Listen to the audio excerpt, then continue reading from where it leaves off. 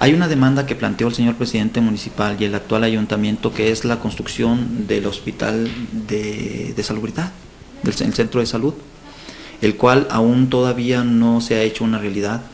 Guadalupe Victoria se ha ido incrementando en el número de habitantes y por ende también se ha ido incrementando la, la demanda de salud en nuestro municipio.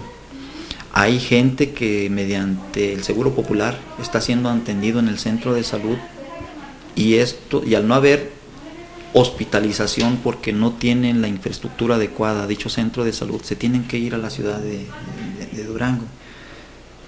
Yo consideraría que uno de los puntos más importantes que aún no hemos logrado eh, cristalizar los distintos niveles de gobierno, llámese el gobierno federal, llámese el gobierno estatal y el gobierno municipal es el centro de salud. Ojalá que esto se ponga a la mesa en forma rápida, porque vuelvo a repetir, nuestra administración está por terminar y sería una honda satisfacción el hecho de saber que en Guadalupe Victoria contamos con un nuevo hospital que va a minimizar los requerimientos de salud en la población de nuestro municipio.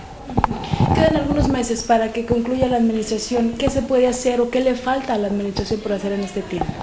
Hay varias cosas que se tienen que hacer en obra pública. La cuestión de la, de la urbanización de las distintas comunidades pero la hemos privilegiado sectores, zonas o comunidades que tradicionalmente habían estado olvidadas por otras administraciones, aún queda obras de urbanización, meter obras sanitarias como lo es el drenaje, el agua potable en algunas comunidades que así lo requieran.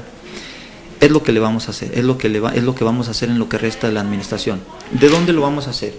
Mínimo, si no es con el gasto corriente mínimo, Acuérdese que existe eh, lo que es la participación por concepto del ramo 33, ramo 20. ¿Qué le quiero decir con esto? Que básicamente vamos a potenciar lo siguiente, urbanización. Urbanización en forma equitativa tanto en la cabecera municipal como en cada una de las comunidades. ¿Qué implica la palabra equitativa, Perla?